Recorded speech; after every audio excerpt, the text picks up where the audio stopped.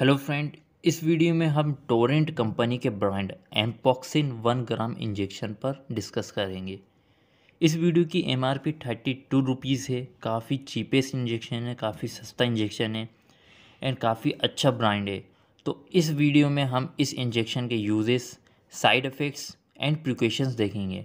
And हम कोशिश करेंगे कि यह वीडियो काफ़ी शॉर्ट बने। So let's start this video Ampoxin one gram में जो मॉलिक्यूल है, वो एम्पिसिलिन एंड क्लोक्सासिलिन है। एंड एम्पिसिलिन एंड क्लोक्सासिलिन ये कॉम्बिनेशन है टू एंटीबायोटिक्स का।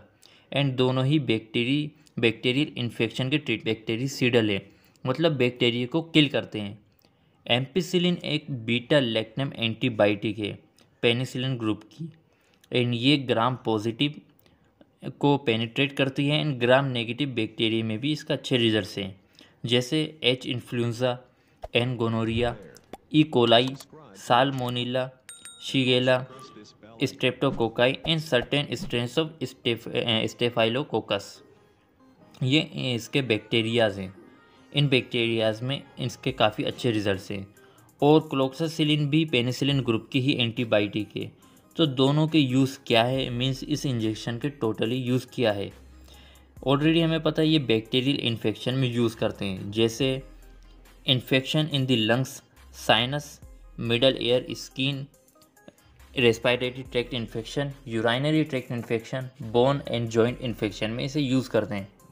इस इंजेक्शन को आईवी एंड आईएम यूज़ करते हैं इंट्रावेनसली एंड इंट्रामस्कुलरली यह आपके डॉक्टर प्रिस्क्रिप्शन पर डिपेंड करता है एंड इसका डोज भी डॉक्टर प्रिस्क्रिप्शन पर ही डिपेंड करता है।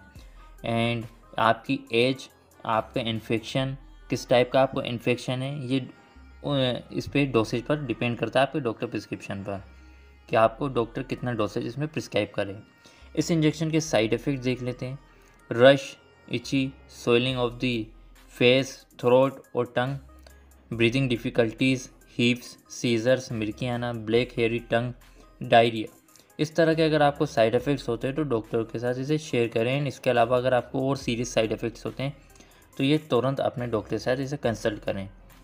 सो so फ्रेंड्स ये तो छोटी सी वीडियो थी। चैनल को सब्सक्राइब कर लाइक और शेयर और कमेंट छोटा सा कमेंट करें। अपने दोस्तों के साथ शेयर करें ताकि